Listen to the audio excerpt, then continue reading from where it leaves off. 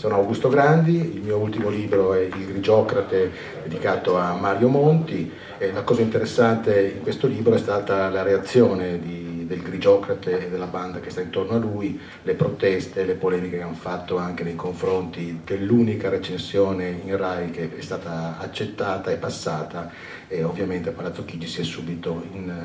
infervorato e si è subito indispettito perché qualcuno aveva avuto il coraggio di eh, recensire favorevolmente un libro che gli stroncava.